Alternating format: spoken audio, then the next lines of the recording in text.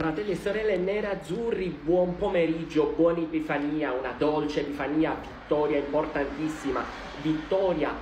avuta con la cattiveria agonistica, non una bella Inter, una, un Inter che ha sofferto e sofferto più volte. L'anno scorso questa partita l'avremmo persa, non pareggiata l'avremmo persa. Quest'Inter con la grinta, con la cattiveria, con la determinazione e anche un pizzico di fortuna porta a casa tre punti, siamo campioni d'inverno, la sblocchiamo con il Toro che apre l'anno con il primo gol di stagione, ma poi per una palla persa banalmente da Arnatovic il Verona pareggia e lì la vecchia Inter si sarebbe piano piano disintegrata, si sarebbe persa, si sarebbe nervosita e la partita non la riprendi più, specialmente quando lo stesso Arnatovic sulla linea fa il portiere per gli avversari. La vecchia Inter lì mentalmente non ci sarebbe stata, ma noi abbiamo continuato, abbiamo preso pure la traversa e poi con il Gladio, Davidino Frattesi, il Gladio, il mio Davidino, con un colpo di spada, con un colpo di Gladio, si inserisce e fa 2 a 1. E quando la partita sembra finita, per un check, per un richiamo dell'arbitro, giusto perché c'è il rigore contro l'Inter,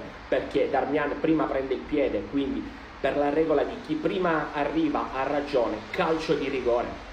Sommer spiazzato, ma ci pensa il palo, ci pensa il palo e poi finisce fuori. Ragazzi, vittoria importantissima. Ripeto, questa vittoria sporca era la vittoria che serviva all'Inter per dare ancora di più consapevolezza di ciò che ci serve. È più bello vincere 4-0, 5-0, ma le vittorie sporche ti danno consapevolezza e noi oggi abbiamo vinto una partita con la sudicchia, come si dice a Palermo. Quindi forza Inter, campioni d'inverno, continuiamo così, superiamo anche i momenti difficili, adesso ci sarà l'integrazione del nuovo arrivato Buchanan, io vi saluto, forza Inter, amala sempre.